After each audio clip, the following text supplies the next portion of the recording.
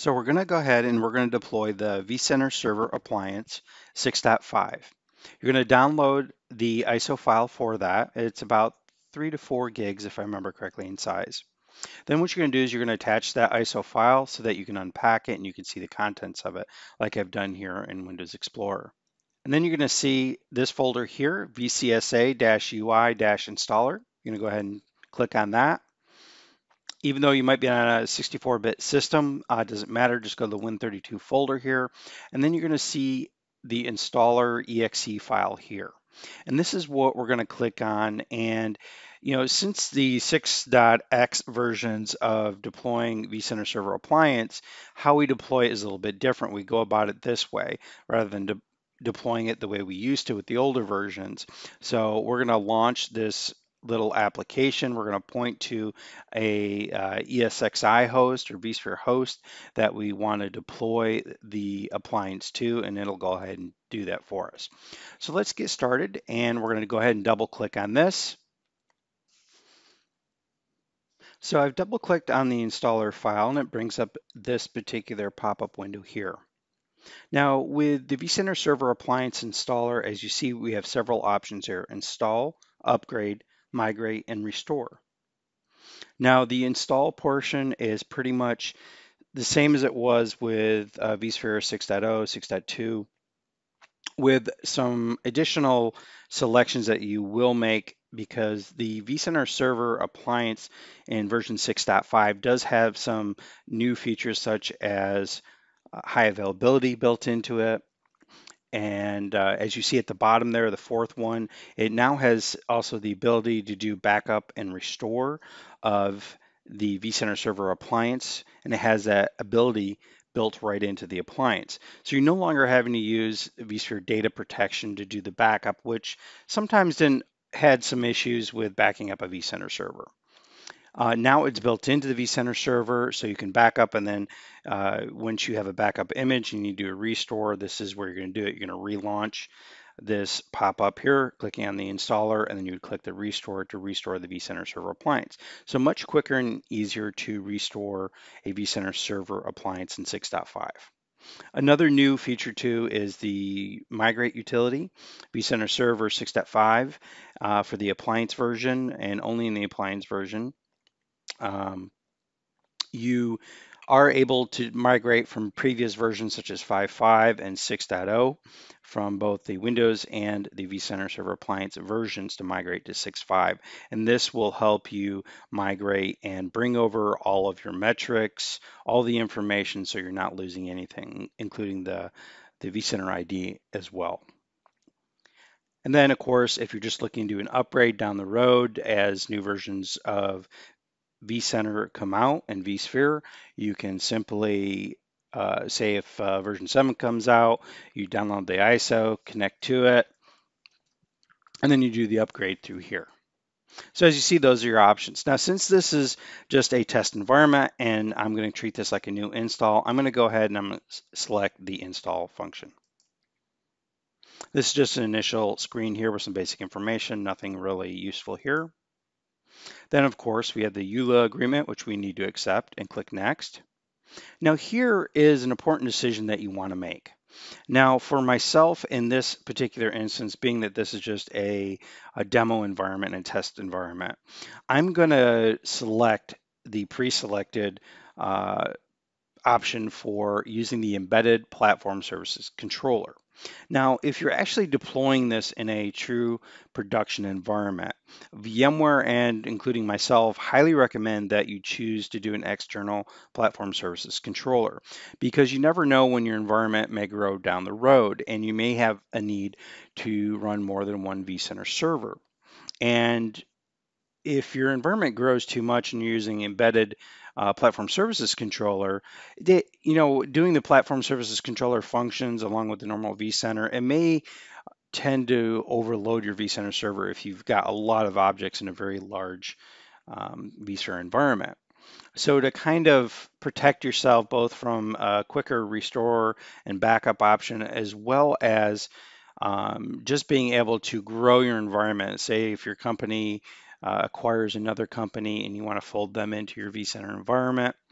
Um, it is highly recommended that you use the external platform services controller. So keep that in mind. Again, for uh, test dev type environments, using the embedded is fine. You can use the embedded in a production environment. Just keep in mind to think ahead as to is there any chance of you being able to grow your environment uh, significantly to where your vCenter server would become a little bit bogged down because of the database and everything that is associated to that platform service controller and its function. So just a little word to the wise there.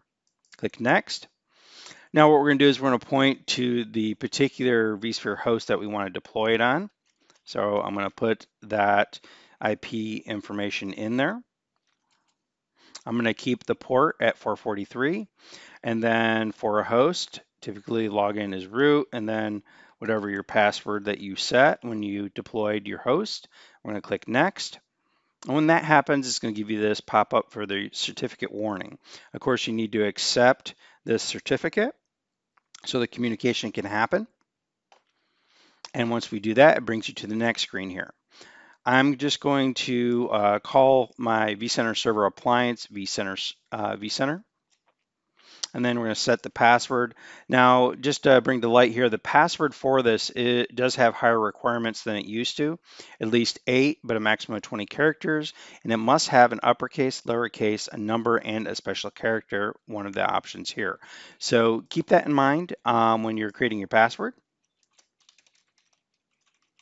So I'm going to go ahead and set my password here, making sure that we're meeting the requirements.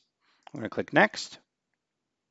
Now here we're going to select the deployment size. Now what this is going to do is it's going to select the VMDK sizes that it will create as well as the size of the database.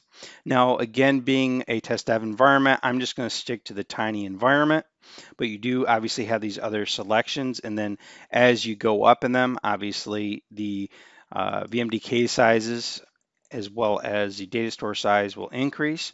You also have a storage size here. I'm just going to go with the default, but you can do large and extra large. Now, there's a little information here. Again, just tells you, uh, depending on the size of your environments, how much stats you're going to be collecting as to what size you might want to collect. Now, here's a little chart to give you an idea of what's going to be deployed when you select that particular deployment size. So being that I selected the Tiny, it's going to deploy it with two virtual CPUs, 10 gig of memory, 250 gigs of storage. It can handle up to 10 ESX hosts and up to 100 VMs. So here we're going to select where we're going to place the vCenter server appliance on what data store. So I'm going to go ahead and I'm going to select data store one here and I'm going to enable thin disk mode because again this is a test demo environment. Uh, I want to use the least amount of space that I need to. So I'm going to go ahead and do that. That way it doesn't provision and tie up the whole amount of space on that data store right away. I'm going to click next. So here on this screen, we're going to go ahead and fill out all the networking information. I went ahead and filled it out. Uh, we only have the default VM network here because, again, this is a fresh network.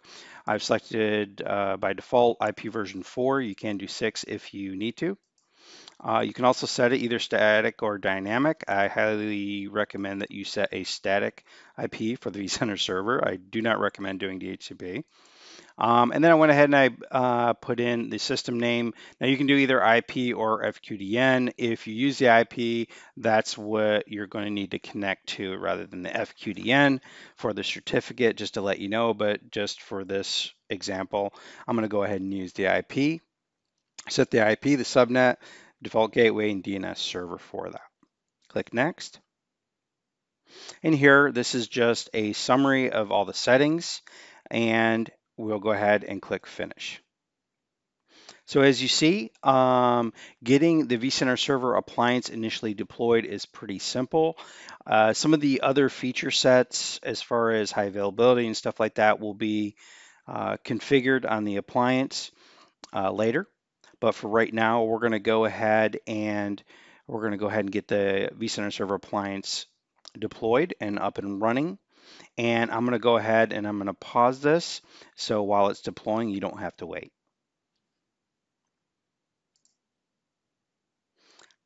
Now, one thing I'd like to mention here The install you're going to notice is going to be a little bit quicker than previous versions of the install.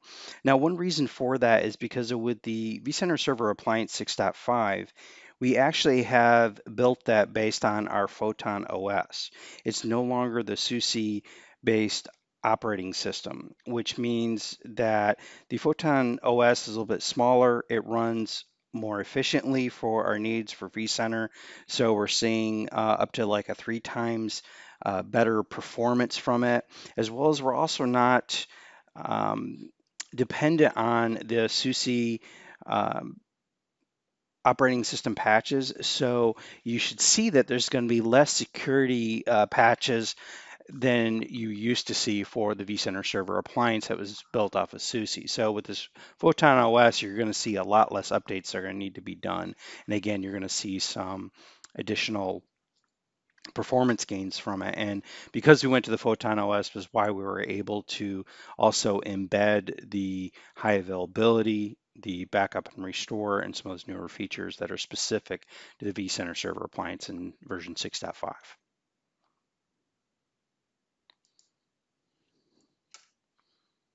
So here we're doing some last configurations in the install. We're just about done at 99%. And there we go. So it reached 100%. It gave us the green check mark saying that we successfully deployed the vCenter server with the embedded PSC and that the deployment was complete. We want to make sure that we do get that message.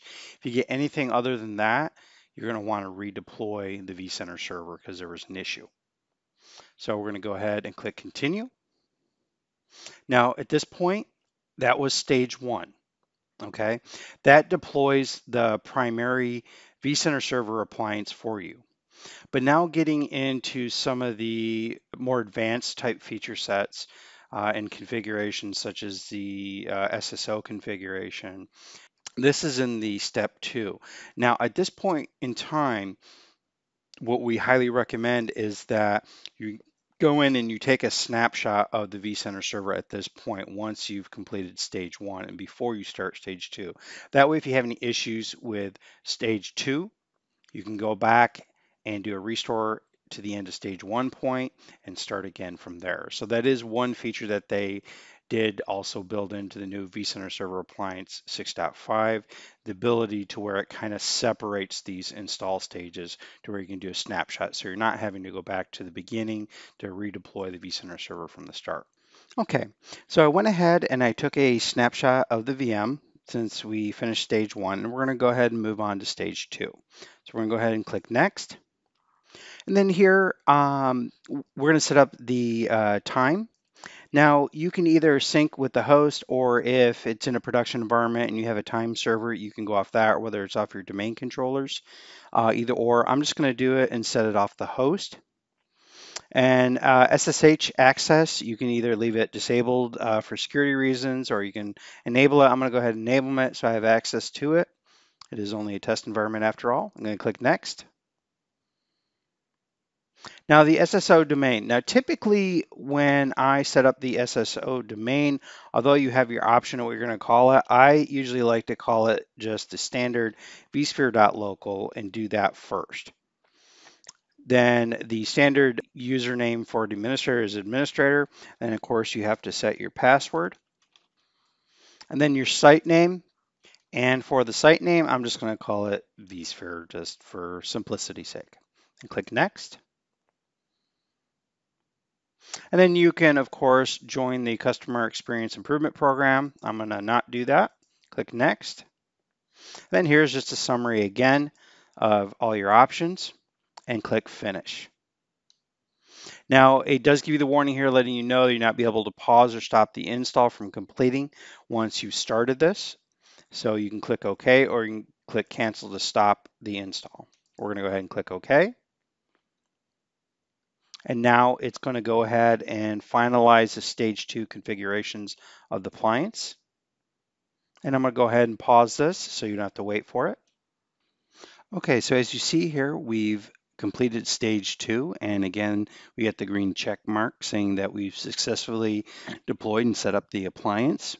And then it also gives you the uh, vSphere web client address, which is the first link here, and then also the appliance getting started page, which is basically just if you go to the IP address of the vCenter server, it gives you that basic page. And click close, and that completes the deployment of the vCenter Server Appliance 6.5.